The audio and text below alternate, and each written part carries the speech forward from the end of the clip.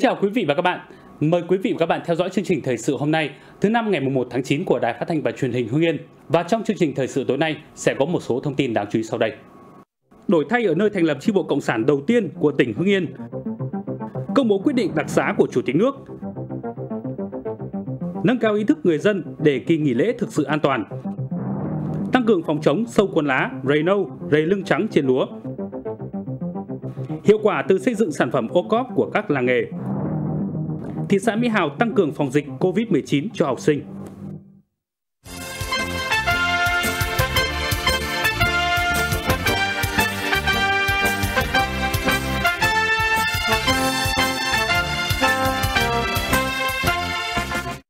Ngày 31 tháng 8, Ban tổ chức, Ban giám khảo Hội thi kỹ thuật tăng thiết giáp toàn quân tổ chức chấm thi tại Đại đội Thiết giáp, Phòng tham mưu, Bộ Chỉ huy quân sự tỉnh. Tới dự có Thiếu tướng Hà Tất Đạt, Phó Tư lệnh Quân khu 3, đồng chí Nguyễn Hùng Nam, Phó Chủ tịch Ủy ban nhân dân tỉnh, đồng chí Đại tá Nguyễn Chí Công, Ủy viên Ban Thường vụ tỉnh ủy, Chỉ huy trưởng Bộ Chỉ huy quân sự tỉnh. Đại đội Thiết giáp Bộ Chỉ huy quân sự tỉnh là một trong 27 đơn vị tham gia hội thi tăng thiết giáp toàn quân lần này. Ban giám khảo đã tổ chức chấm các nội dung thi như thi tăng thiết giáp tốt, khai thác lái xe tăng thiết giáp giỏi, thi hoạt động ngày kỹ thuật, khu kỹ thuật, thi đề tài sáng kiến cải tiến kỹ thuật, thi nhận thức công tác quản lý kỹ thuật, điều lệ công tác kỹ thuật, hướng dẫn công tác kỹ thuật tăng thiết giáp, nhận thức chuyên môn và cuộc vận động 50 giải pháp nâng cao chất lượng công tác kỹ thuật tại đơn vị. Với sự chuẩn bị nghiêm túc, chu đáo, tinh thần vượt khó, Đại đội Thiết giáp Bộ Chỉ huy quân sự tỉnh đã hoàn thành tốt các nội dung thi. Các thí sinh đã chấp hành nghiêm quy định của ban tổ chức, tham gia thực hành các nội dung thi đảm bảo nhanh chóng, chính xác, nắm vững được những quy trình trong công tác kỹ thuật tăng thiết giáp,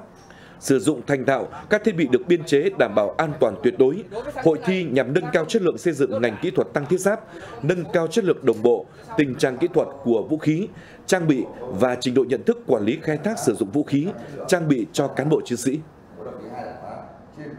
Xã Thuần Hưng, huyện Khói Châu là nơi thành lập chi bộ Đảng Cộng sản đầu tiên của tỉnh Hưng Yên. Tiếp bước cha anh dưới sự lãnh đạo của Đảng bằng những chủ trương, chính sách đúng đắn và sự quyết tâm, đồng lòng của người dân, mảnh đất Thuần Hưng ngày nay đang từng ngày chuyển mình, khởi sắc. Năm 1929, tại cây đa Sải Thị, chi bộ Đảng Cộng sản đầu tiên của tỉnh Hưng Yên được thành lập. Từ đây, ngọn lửa cách mạng đã lớn mạnh và phát triển rộng khắp trong toàn tỉnh. Hơn 90 năm đã đi qua, cây đa sải thị ngày nào vẫn ngát xanh vươn mình trong nắng gió, như nhắc nhở bao thế hệ người dân xã Thuần Hưng về một truyền thống cách mạng kiên cường. Lớp lớp thế hệ người Thuần Hưng vẫn kể cho nhau nghe về những đóng góp của quê hương mình trong các cuộc đấu tranh giành độc lập tự do và xây dựng đất nước. Chính vì vậy chúng tôi từ nhân dân của chúng tôi là từ già trẻ cho nên luôn luôn phát huy được cái, cái truyền thống đó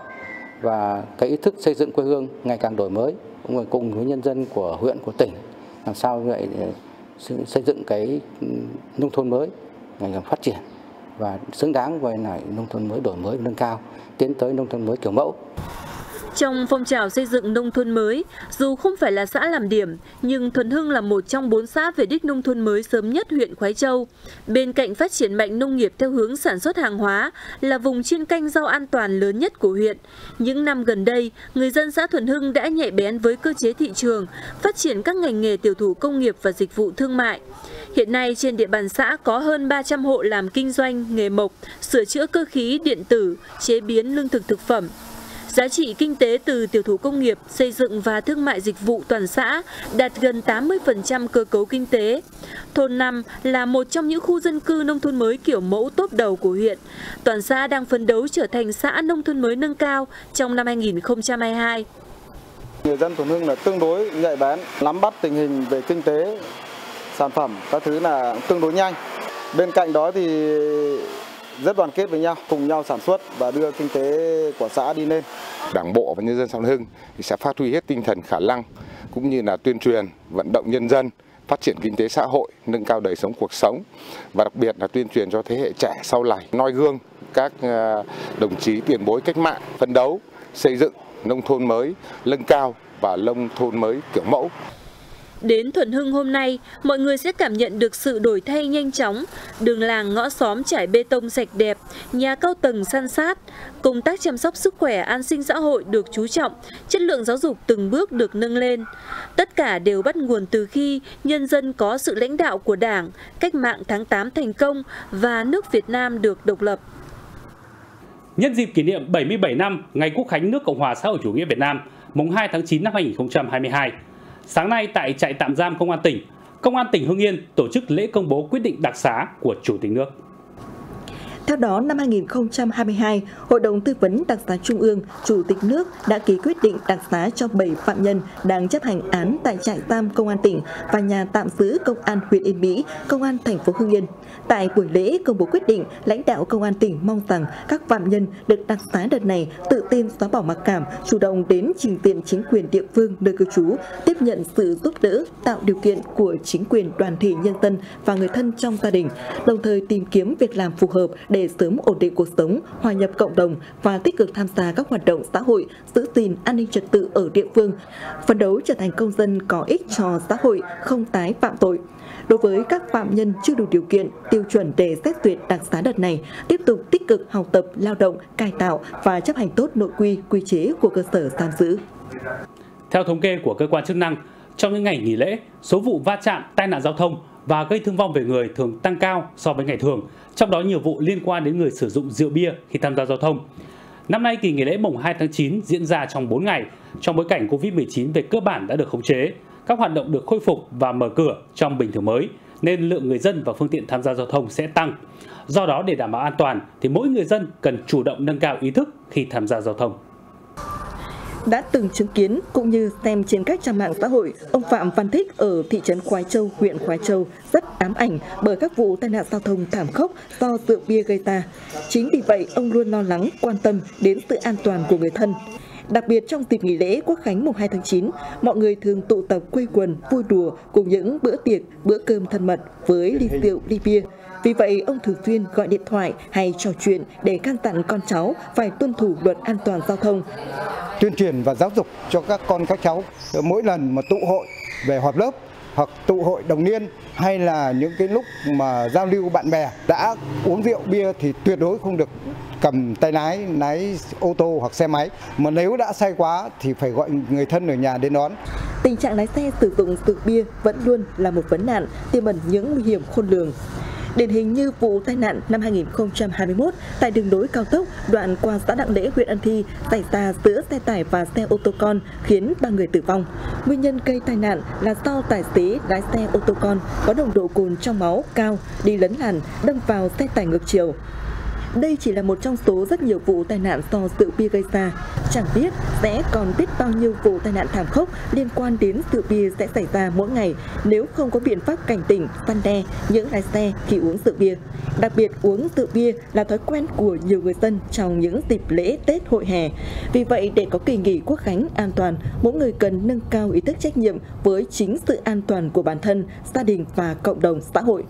đợt ờ, nghỉ lễ quốc khánh 29 năm nay sẽ khá dài. Đây là những cái cơ hội để cho tất cả những cái cá nhân cũng như tổ chức ừ, sẽ tổ chức những cuộc gặp mặt. Cái việc ăn nhậu nó không phải là đơn thuần nó chỉ là vui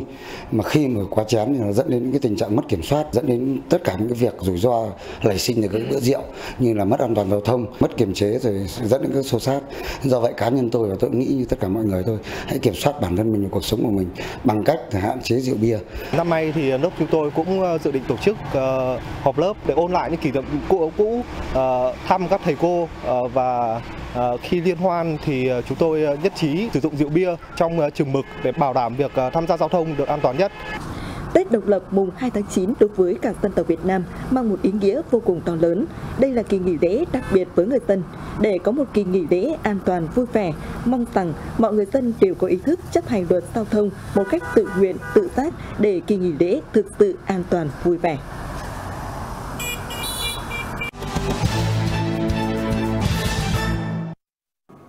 Trong tháng 8 năm 2022 đã có 3 dự án đầu tư vào địa bàn các khu công nghiệp tỉnh với số vốn đăng ký gần 500 tỷ đồng.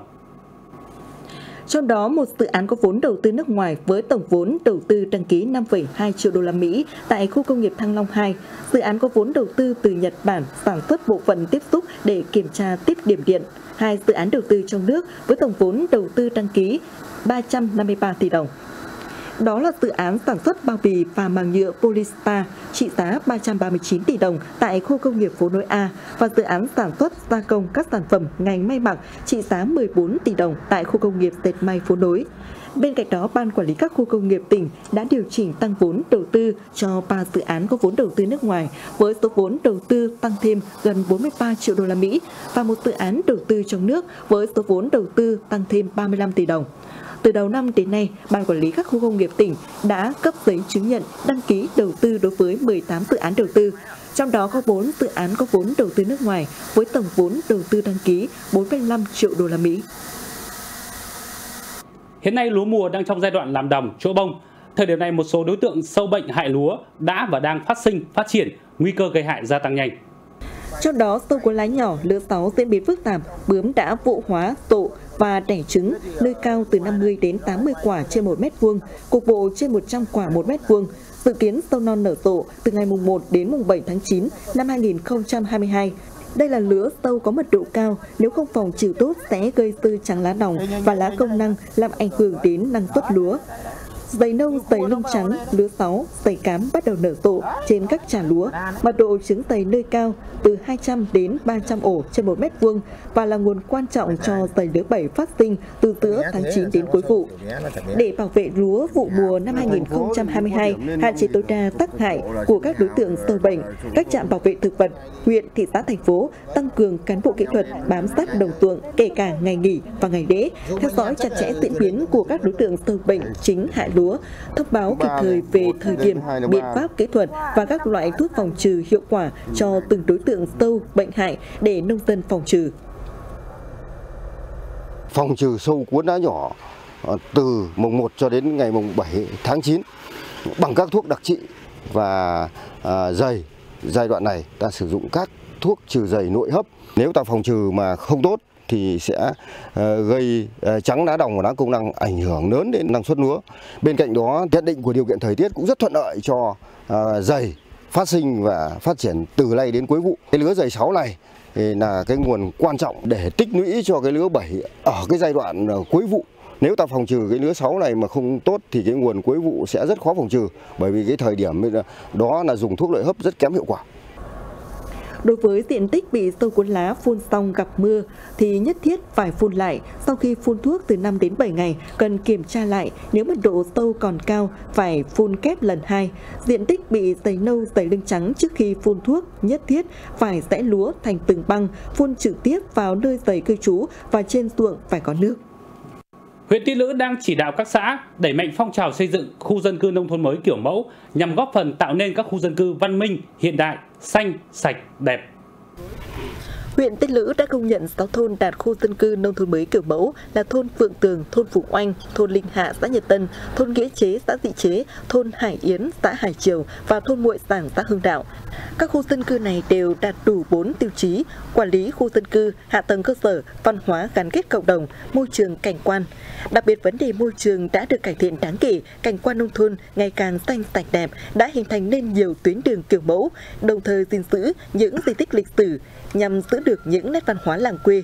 Năm 2022, huyện Tiền Lữ phấn đấu sẽ có thêm 12 khu dân cư nông thôn mới kiểu mẫu. Từ đầu năm đến nay, xã Vĩnh Xá, huyện Kim Động đã đầu tư trên 25 tỷ đồng từ nguồn đấu giá đất để xây dựng và nâng cấp các công trình công cộng của địa phương, hướng tới mục tiêu về đích xã nông thôn mới nâng cao trong thời gian tới. Trong đó đã có 4 tuyến đường giao thông nội đồng và một tuyến đường liên thôn được mở rộng nâng cấp và đưa vào sử dụng với tổng chiều dài gần 5 km. Các tuyến đường đều đảm bảo kết cấu vững chắc, rộng ngang từ 5 đến 7 m, dài từ 20 đến 30 cm. Đối với các tuyến nội đồng đảm bảo khoảng cách với mặt ruộng và kè bờ kiên cố, đoạn tuyến dọc kênh mương phục vụ tưới tiêu. Ngoài ra công trình hội trường nhà văn hóa của xã cũng đang được tập trung xây dựng phần thô, dự kiến hoàn thành vào cuối năm 2022 với tổng kinh phí trên 11 tỷ đồng. Việc chú trọng xây dựng kiến thiết các công trình không những giúp hoàn thiện tiêu chí hạ tầng đối với xã nông thôn mới nâng cao, nông thôn mới kiểu mẫu và thuận lợi cho người dân trong đi lại sinh hoạt văn hóa thể thao, góp phần không nhỏ trong phát triển kinh tế địa phương.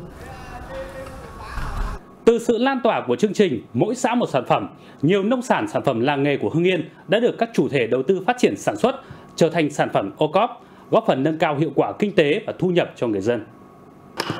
Xã Hòa Phong, thị xã Mỹ Hào có 4 trên 7 thôn có làng nghề sản xuất mộc với gần 200 xưởng lớn nhỏ, thu hút trên 2.000 lao động tham gia.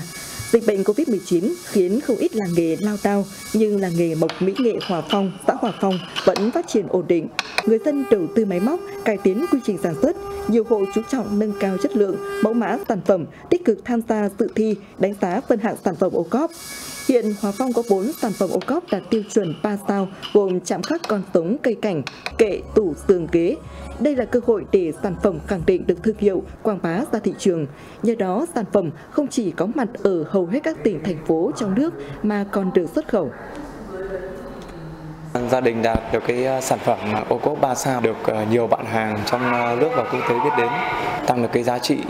hàng hóa, cũng tăng được cái sản lượng. Tại làng nghề chế biến nông sản thôn Điện Biên, xã Hồng Đam, thành phố Hưng Yên cũng được người dân gìn giữ phát triển nhiều năm nay. Đáng chú ý năm 2020, sản phẩm của làng nghề gồm hạt sen, lòng nhãn, mật ong được đánh giá phân hạng sản phẩm ô cóp đã giúp cho việc tiêu thụ của người dân ngày càng thuận lợi hơn, thu nhập của người dân nâng cao, thương hiệu sản phẩm được nhiều người biết đến và xuất sang thị trường Trung Quốc, Hàn Quốc, Malaysia, Ấn Độ, Thái Lan. Sản phẩm ô cóp 4 sao thì từ ngày đó là khách hàng trong và ngoài nước là biết đến. Bán hàng rất là tốt, tăng cái sản lượng chúng tôi tiêu thụ thị trường gấp đôi.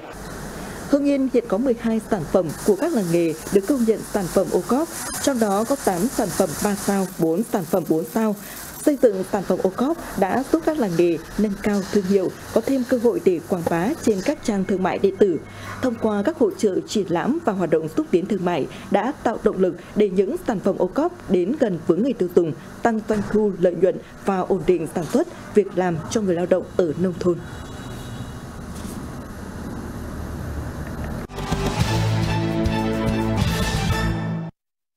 Chào mừng kỷ niệm 77 năm Ngày Cách mạng tháng 8 thành công và Quốc khánh mùng 2 tháng 9, huyện đoàn Phu Cư và đoàn thanh niên khối quản lý hành chính công an tỉnh phối hợp xây dựng công trình thắp sáng nông thôn mới kiểu mẫu về an ninh trật tự. Công trình được khảo sát và lắp đặt từ ngày 15 tháng 8 có tổng chiều dài 2 km, trục đường chính từ thôn Tuyên Linh đến thôn Hà Linh, xã Đỉnh Cao, với tổng số 23 bóng đèn năng lượng mặt trời 250W. Tổng trị giá công trình là 34,5 triệu đồng do Đoàn Thanh niên khối quản lý hành chính Công an tỉnh và Đoàn Thanh niên Cộng sản Hồ Chí Minh, huyện Phù Cử đóng góp. Các đơn vị tình nguyện khoa điện, trường cao đẳng FPT hỗ trợ lắp đặt.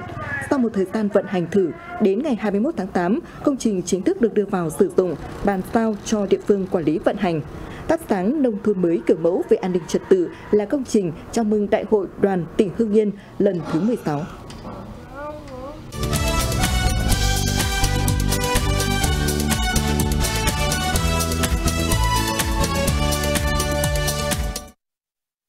Thưa quý vị và các bạn,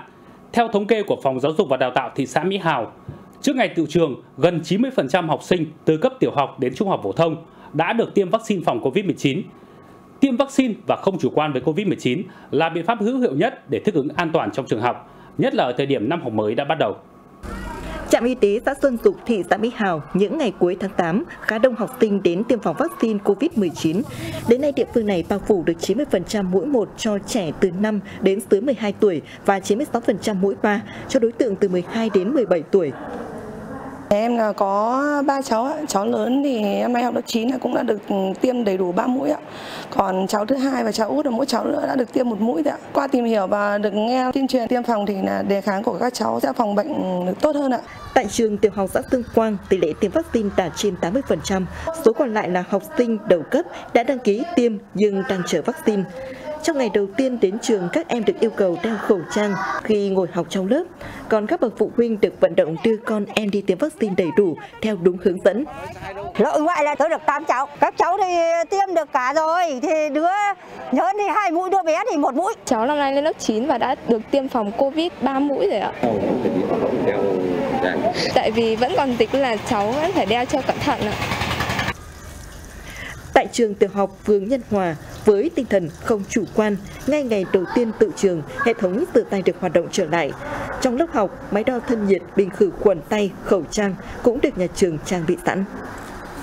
thông qua các nhóm Zalo thì luôn luôn tuyên truyền để phụ huynh kết hợp với nhà trường để đảm bảo phòng dịch cho các con. Thì nhà trường vẫn tiếp tục thực hiện là các biện pháp phòng dịch cho học sinh như từ trước đã triển khai. Tại các lớp thì các cô cũng chuẩn bị đầy đủ như là các cái trang thiết bị để phục vụ cho phòng dịch. Hiện nay dịch bệnh COVID-19 không còn là cao điểm, tuy nhiên dịch có thể xuất hiện trở lại bất cứ lúc nào. Vì vậy, tiêm vaccine và chủ động phòng ngừa vẫn là việc cần chú trọng để đảm bảo an toàn cho năm học mới. Quý vị và các bạn có thể xem lại chương trình trên các nền tảng số của Đài Phát thanh và Truyền hình Hưng Yên như ứng dụng Hưng Yên TV Go trên website hương yên tv.vn, trang fanpage tin tức Hưng Yên 24 trên 7 HITV, kênh YouTube Truyền hình Hưng Yên HITV.